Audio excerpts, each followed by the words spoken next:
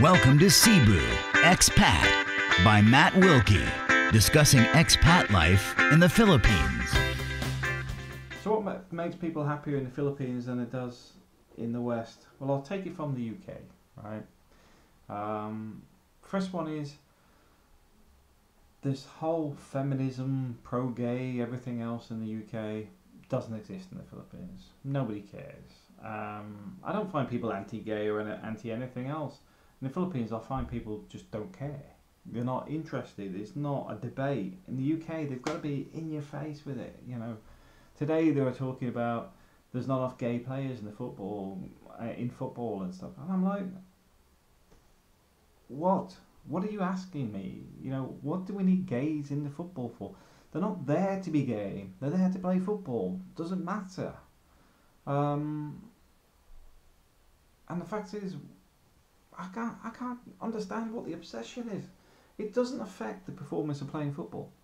The whole fact that they have to push it um, to try and introduce uh, very pro-gay players, etc. Um, I don't get it. I mean, I don't push masculine ballet dancers or something. I, I'm people are people. Just leave everybody alone. In the UK, it's an obsession. Um, same with the US. It's the US and UK, to be honest, doing this. Every TV show has got to have the gay. It's got to have possibly a transgender, and it's got to have a strong female character that is either bisexual or um, mothering or it's what is going on i'm not being funny here right feminism complains that all the top jobs are taken by men yet in the tv world they're all taken by women so make your mind up i'm not going to make a sexist joke about that uh, but maybe billy connolly could billy connolly mentioned this a while back about the, the joke about the women and they want a bit of this, a bit of that, none of that. Da, da, da. That's equality. Um, I found it quite amusing, but it is quite right. They're too selective. Um, and I don't know if it's even driven by women, because a lot of the PC brigade must sit there all day thinking of things to whine about. But in the Philippines, doesn't exist. Feminism. I haven't met a feminist. I haven't met anybody mention feminism in the Philippines. What I have met is a lot of women that are laid back. I've seen the women that um, do the parachuting and stuff with the guys. Um, they're as fit and as strong as the guys. Um, they don't lower the standards for the women, but because of the the body build of Filipinos, um, the women are pretty pretty good. They're pretty fit um, they carry their own weight. And if you go up into the provinces and stuff, you can see they can literally carry their own weight and they'll work hard. Um, for me, that's more important than going, oh, we should have more this or more that. Why don't you just recognize women for who they are? People. Because this is where the West is going all off, all off tangent. You go into a working environment, women are generally angry and argumentative and stuff. I don't know what's going on. I really don't. Because I don't like working in offices, I'll be honest with you. I'm more of a hands on guy. I'll, engineering wise, don't mind working in, on equipment and stuff.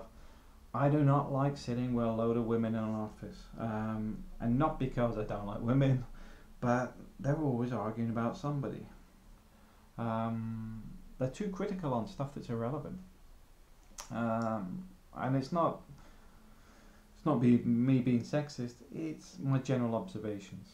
Um, being sexist would say that all women are this or that. I'm just saying from observations that a lot of the arguing goes on because some people have too much time on their hands but also i think there's a lot of insecurities but also the media drives the fact that women should be performing etc etc so there's like insecurities and also I don't know what goes on. I mean myself, I'm not happy with work, so I quit. Um, now, when I say quit, it's not like I quit, quit. It's more a case of I'm moving on to better things. Um, it's not where I want to be in life. Um, although I work for corporations, I don't want to work for a corporation. Um, I prefer external. It removes all the politics. But the whole point with the Philippines is all this office politics and stuff isn't in your life. Doesn't exist.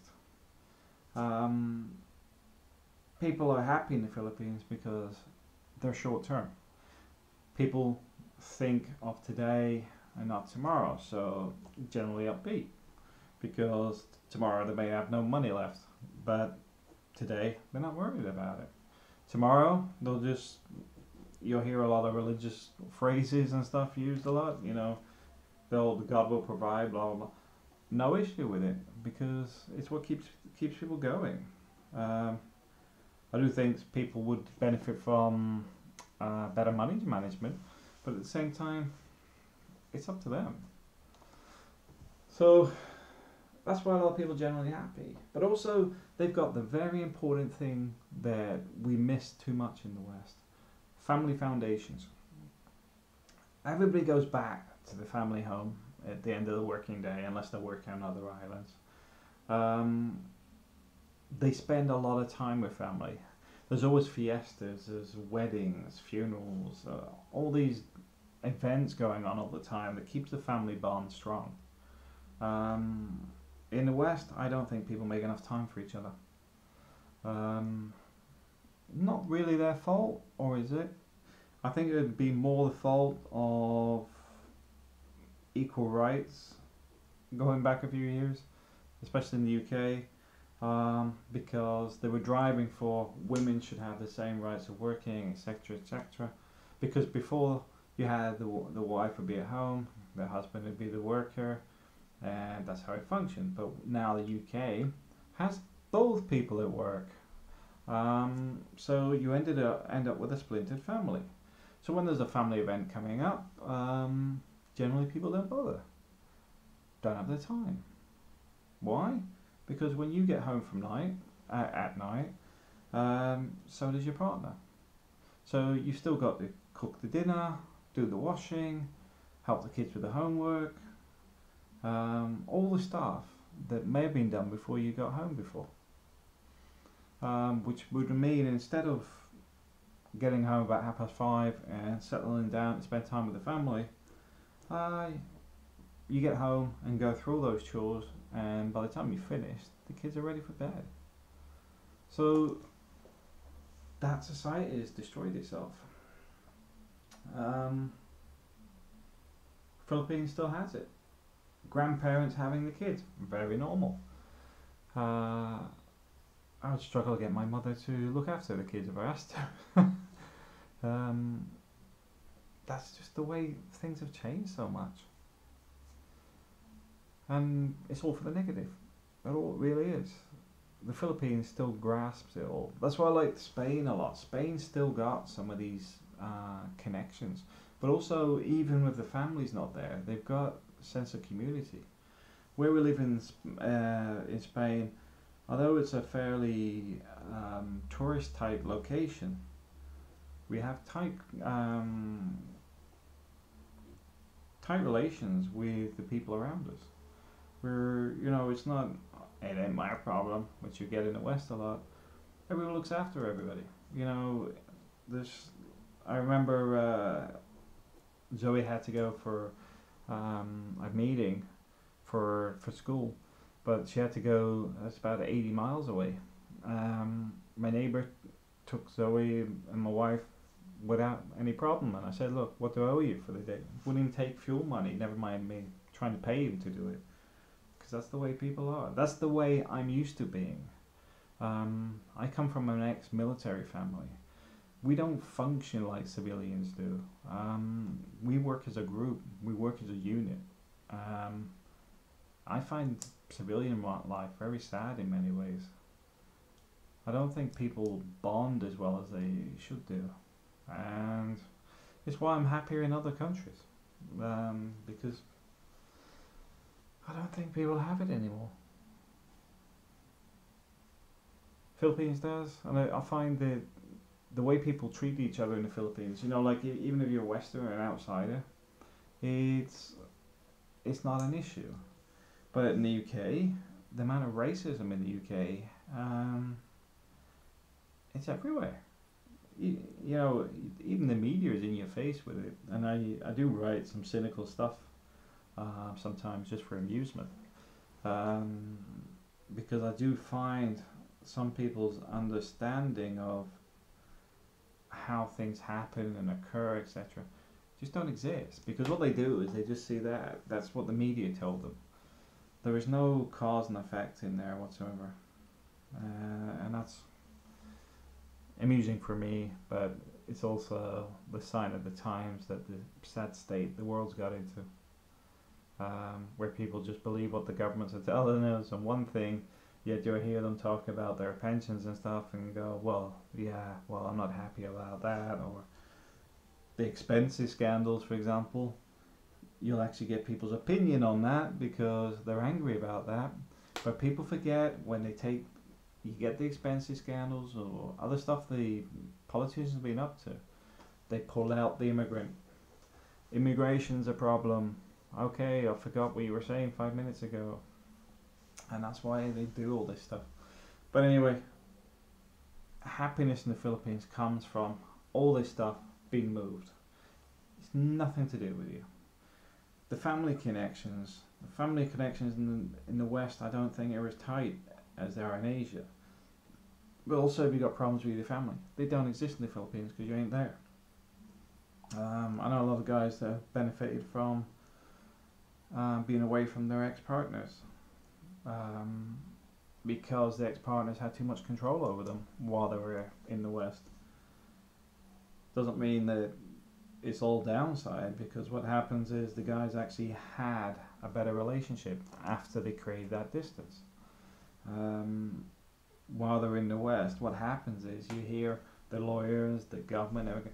You have a right. You have a right to your ex's wallet. You've got a right to your ex's house, car, kids, everything.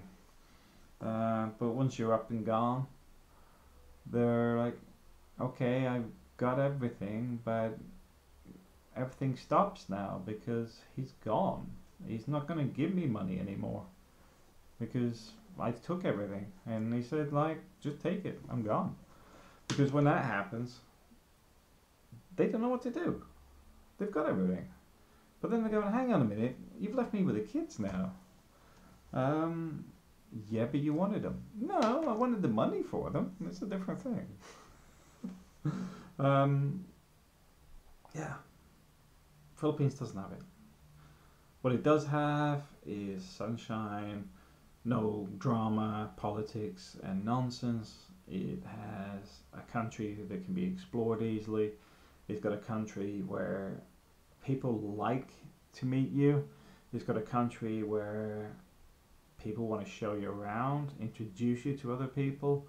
It has a country where they actually like foreigners. Um, the other way around, in the UK right now, everybody complains about immigrants. Yeah, here we are talking about Brits going, Brits or anywhere else, going to the Philippines and treated almost like royalty in some ways. Um, it just shows you, it puts everything in context. The Philippines is an amazing place. Um, I love it there. Um, I love it in Spain in Spain at the moment as well. I can see me being long term in Spain. Um, I've still got to sit and work out how I'm going to develop stuff in Spain. It's a bit more complex than the Philippines because uh, my Spanish is still miles off um, so it's going to take me another year to actually get something that I can rely on in the Spanish environment that is purely Spanish. I mean, helping tourists and stuff is easy enough, but the good stuff involves speaking Spanish. Anyway, just be aware the Philippines opens up so many options to you It removes all the stuff that sucks the life out of people in the West. It gives you the opportunity to think, plan, look ahead, remove distractions and focus on getting a better life. Thanks for watching.